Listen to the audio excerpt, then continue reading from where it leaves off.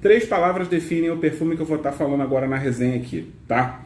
Verde, amargo e clássico, de certa maneira, sim.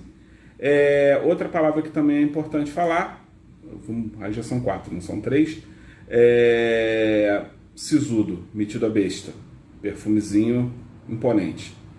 Esse cara aqui, ó, Polo Green, ou simplesmente Polo, que quem colocou o nome de Polo Green fomos nós, tá?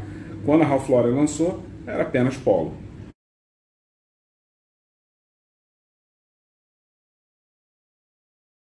O que, que eu vou falar a respeito desse cara?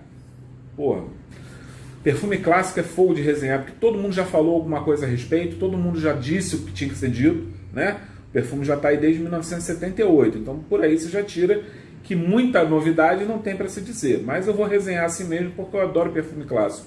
É até porque através dos clássicos e das tradições é que você entende a modernidade. Olha aí, filosofia, coisa linda. Vamos lá.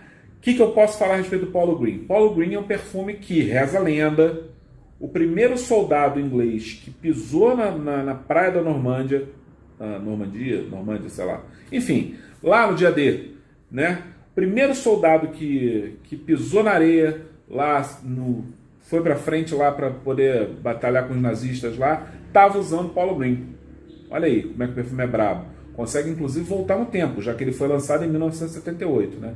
Eu não sei porque eu achei que essa piadinha tem alguma graça, mas eu acho que não teve.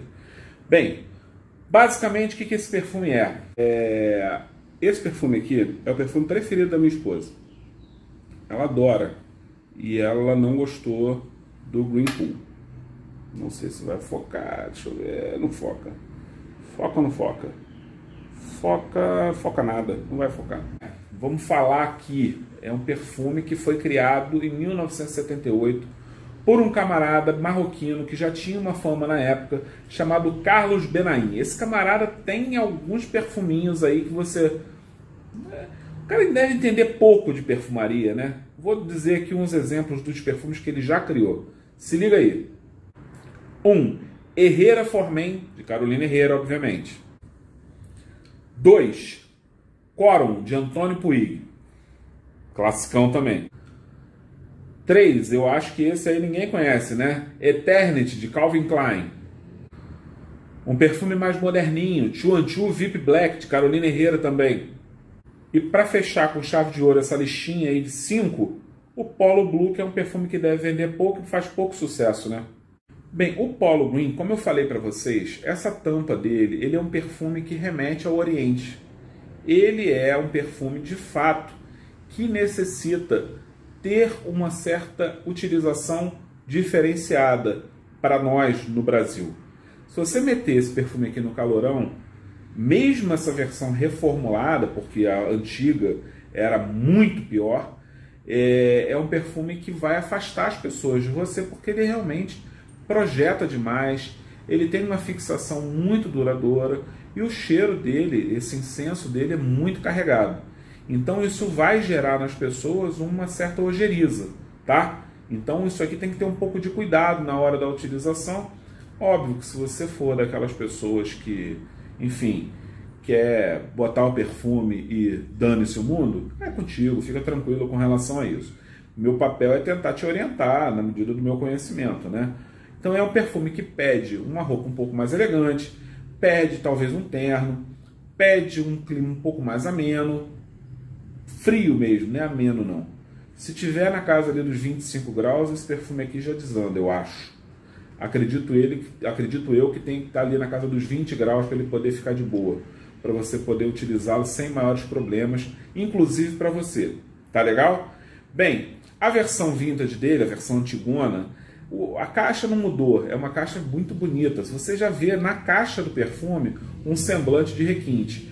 Por exemplo, ela é uma caixa, uma caixa verde musgo com a, a, o nome, uma borda em dourado. Depois eu vou colocar a foto para você dar uma olhada aí na, no vídeo.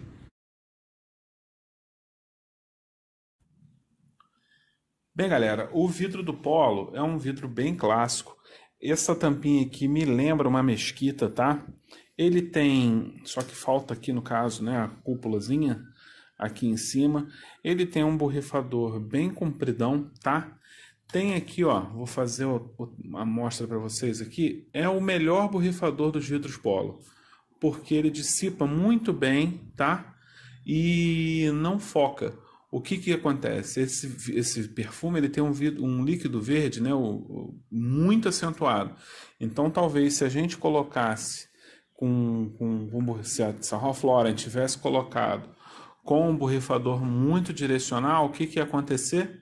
muito possivelmente ia focar demais e ia poder manchar as camisas e tudo mais, tá legal? Ele tem nota para chuchu, meus amigos. Então vamos lá, ó.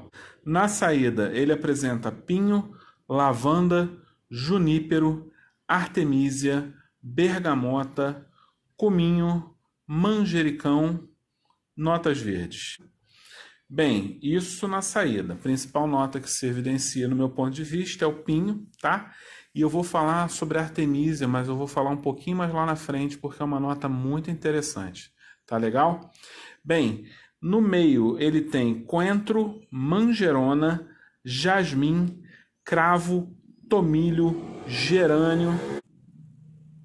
No dry down dele, ele vem com musgo de carvalho, patchouli, couro, madeira de cedro, almíscar e a nota principal que eu vejo que vem no meu nariz é um incenso, um incenso forte. Beleza?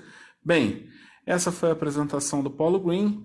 O Green Pool, eu só tenho o decanzinho, então tá até inclusive machucadinho aqui, ó. As notas são basicamente a mesma situação, tá? Bem, no, a saída do perfume não tem segredo, tá? Esse perfume é aquele clássico. Pegada inicial do perfume. Coisas verdes e herbais, herbáceas é, tudo que você possa imaginar que seja verdinho e que seja cheiroso, é, você pode colocar aqui no início dele, tá? Hum, como é que ele quebra isso para não ficar uma coisa tão brutal? Ele entra com umas notas florais no meio dele, misturando, fazendo a ponte de ligação entre a abertura e as notas de coração. No final, ele vai para o desencadeado dos perfumes que foram criados na década de 70, perfumes vintage. Ele termina madeirando, com almíscar, com âmbar, com toda essa turma aí que sempre dá o elo final nos perfumes masculinos que são muito viris. Beleza?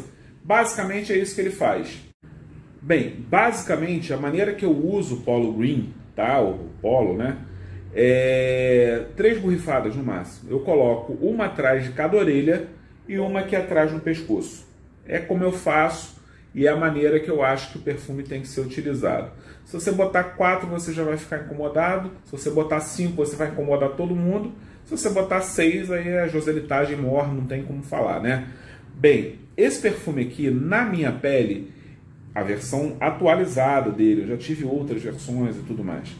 É, esse perfume aqui fixa na minha pele algo em torno de 10 a 11 horas e projeta na casa de 3 horas, tá? O Green Pool da In The Box é um pouquinho diferente, é um pouco menos.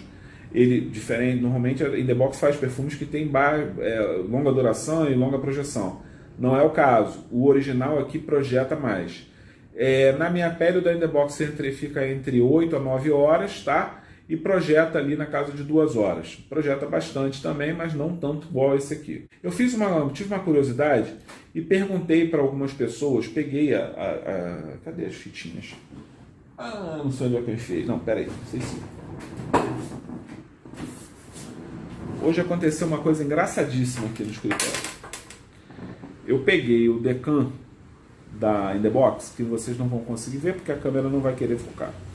Eu peguei esse Decan aqui e eu estava tentando gravar e aquela motinha que vocês já conhecem, que atrapalha sempre os meus vídeos aqui, resolveu ficar buzinando, passando para um lado, passando para o outro e me atazanando o juízo aqui. Numa dessas situações, eu peguei o decanzinho e falei, puxa vida, e bati assim, e a minha mesa aqui, ó, tá vendo o barulhinho dela? É uma mesa de vidro. E esse decan aqui da Guia do Decans, que é onde eu comprei, ele é muito fininho o vidro. Resultado da história, o vidro quebrou e pesteou aqui o meu, a minha mesa. Eu tive que secar e tudo mais. Molhei, aproveitei para molhar esse papelzinho aqui, tá? E aproveitei para borrifar o perfume original nesse daqui. Perguntei hoje para umas três pessoas qual perfume. E, e, tipo assim, óbvio, esse aqui ficou encharcado, né?